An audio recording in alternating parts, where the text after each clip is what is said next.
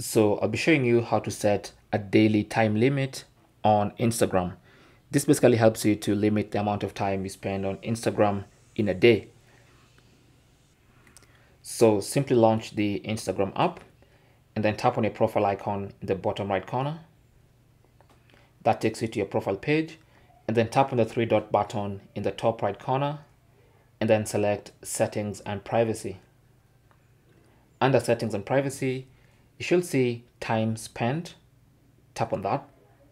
And then here you can actually see the amount of time you're spending on Instagram.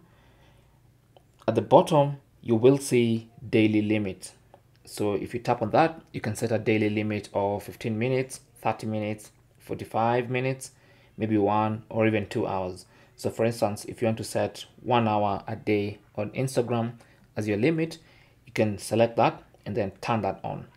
Now, if you spend a cumulative time of one hour on Instagram, then the app will let you know and it's going to give you a reminder to close the app after that uh, period of time has elapsed.